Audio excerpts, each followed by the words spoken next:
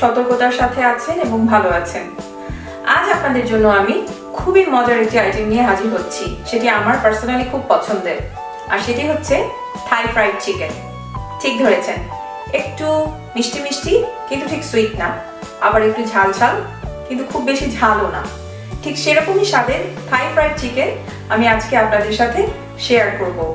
এটা বিকালের নাস্তায় হোক কিংবা অফিসের লাঞ্চে অথবা ফ্রাইড রাইসের সাথে যে কোনো কিছুর সাথে খুব ভালো মানিয়ে যায়। চলুন তাহলে শুরু করি।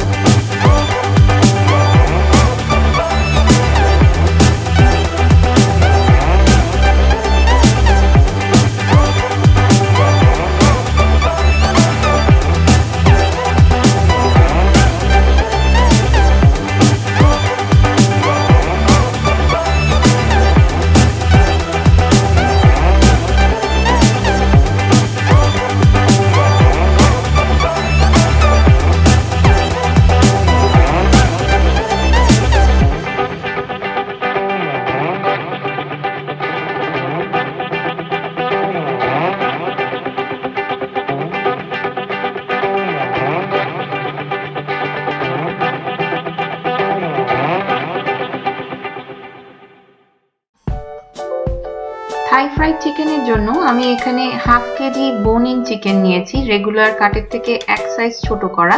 আপনারা চাইলে রেগুলার কাটও নিতে পারেন। আরও আছে ওয়েস্টার সস ওয়েস্টার সস এখানে আমি নিয়েছি এক টেবিল চামচ। তারপর আছে সোয়া সস সোয়া সসও নিয়েছি আমি এক টেবিল চামচ।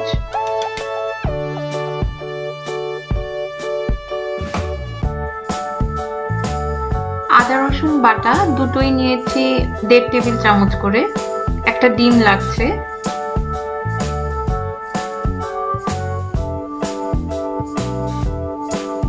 আরও লাগছে ফিশ সস ফিশ সস এক টেবিল চামচ নেওয়া আছে।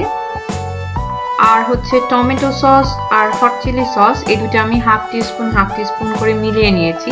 যেহেতু থাই ফ্রাইড চিকেনে একটু ঝাল ঝাল একটা ভাব হয়, এই কারণে হট চিলি সসটা নেওয়া আর আছে বেশ কিছু গুঁড়ো মশলা, লাল মরিচ, পাপরিকা, গোলমরিচ গুঁড়ো আর হচ্ছে জিরা গুঁড়ো। এবার ম্যারিনেশনের পালা। একে একে আমি সবগুলো সস প্রথমে দিয়ে নিচ্ছি।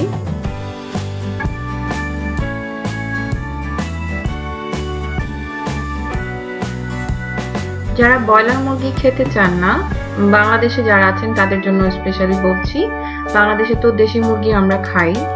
তো তারা ব্রয়লার মুরগির বদলে দেশি মুরগি দিয়েও সেম একই প্রসেসে থাই ফ্রাইড চিকেনটা করতে পারেন। টেস্ট অনেক ভালো হবে আশা করছি।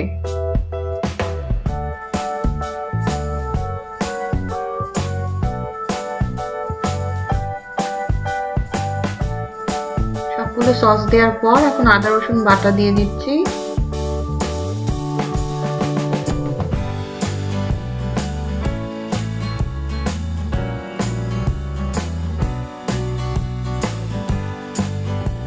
সবগুলো গুঁড়ো মশলা দিয়ে দিলাম। গুঁড়ো মশলাগুলোর মধ্যে গোলমরিচ গুঁড়ো আর জিরা গুঁড়োটা আমি হাফ টিস্পুন করে নিয়েছি। আর লাল মরিচ আর পাপরিকাটা ওয়ান টিস্পুন করে আছে। স্বাদ মতো লবণ দিয়ে দিলাম। আরেকটা জিনিস অ্যাড করব যেটা টেস্টের ব্যালেন্সটা করবে, সেটা হচ্ছে চিনি। খুবই সামান্য একটু চিনি দিয়ে নিচ্ছি, যেহেতু এই ফ্রাইড চিকেনটার মধ্যে একটু ঝাল, একটু মিষ্টির ভাব থাকে, তাই চিনিটা দেয়া। এবার সবগুলো একসাথে মিলে খুব ভালো করে ম্যারিনেট করে ফেলব। ম্যারিনেশনের পর ফুড র্যাপার দিয়ে এটাকে ঢেকে দিব হাফ অ্যান আওয়ারের জন্য।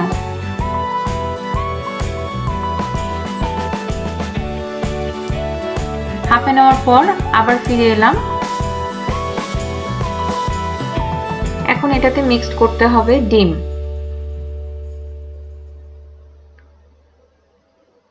আমি এখানে একটা ডিম নিয়েছি, আস্ত ডিম। আর যেটা দিব এটা হচ্ছে এখানে আছে আপনার বেসন। বেসনের সাথে কর্নস্টার্চ কর্নস্টার্চ আমি দুই টেবিল চামচ নিয়েছি, বেসনও দুই টেবিল চামচ নিয়েছি। এটার সাথে মিক্স করেছি খুবই সামান্য একটু লেমন জেস্ট লেমন জেস্টার জন্য খুব ভালো একটা ফ্লেভার হবে এই থাই ফ্রাইড চিকেনে এবার খুব ভালো মতন পুরো জিনিসটাকে মিক্সড করে নেবার পালা।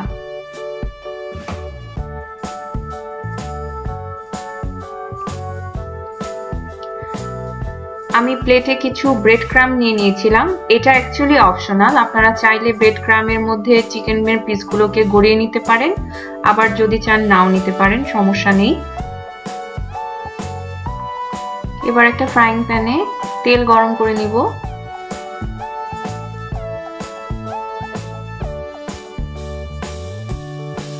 চিকেনটা ডুবো তেলে ভাজলে ভালো হবে, এর জন্য আমি একটু তেল বেশি দিয়েছি। তেলটা গরম হয়ে গেছে, এখন চিকেনের পেস্টগুলোকে গরম তেলের মধ্যে ছেড়ে দিব। চেষ্টা করবেন লো থেকে মিডিয়াম হিটের মধ্যে ভাজার জন্য, কারণ হিট যদি হাই থাকে, তাহলে দেখা যাবে উপরের কোটিংটা পুড়ে যাবে, কিন্তু চিকেনটা ভেতরে কাঁচা থাকবে। আমি এই কারণে লো টু মিডিয়াম হাই দিয়েছি, যাতে ভালোভাবে চিকেনটা ভেতরেও সিদ্ধ হয়। এক সাইড হয়ে গেলে এবার উল্টে দিচ্ছি, আরেকটা সাইড হওয়ার জন্য। একটু সময় নিয়ে ধৈর্য ধরে ভাজতে হবে এটা আসলে।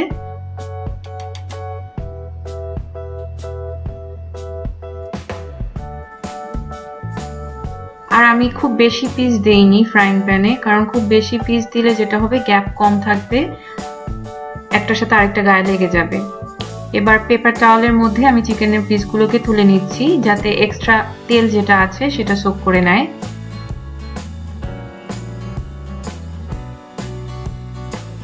এভাবে একে একে আমি সবগুলো পিস ভেজে নিয়েছি। এখন এটাকে সার্ভিং ডিশে সার্ভ করার পালা।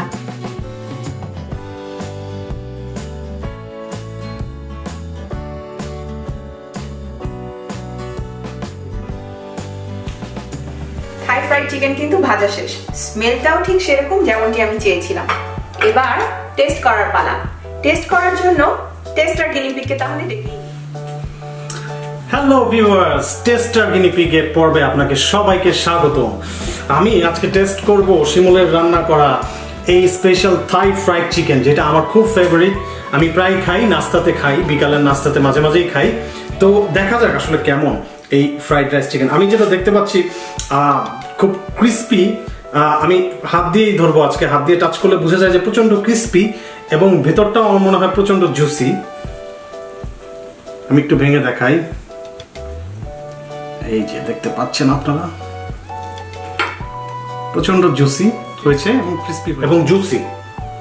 আর সবচেয়ে মজার কথা হচ্ছে মাংসটা কিন্তু খুব ভালো টেন্ডার্ড হয়েছে।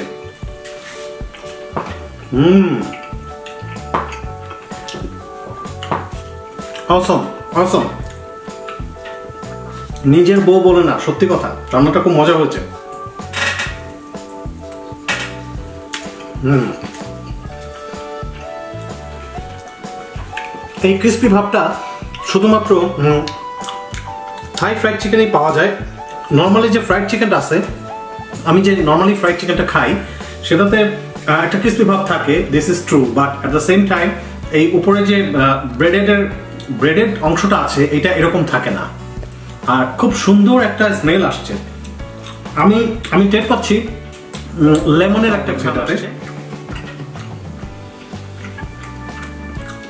এই যে, প্রতিটা মাংস কিন্তু চলে আসছে হাতে। হুম আই লাইক ইট এই সস দিয়ে মজা হয়েছে। আর আজকের রান্নার জন্য আমি এটাকে পয়েন্ট দিচ্ছি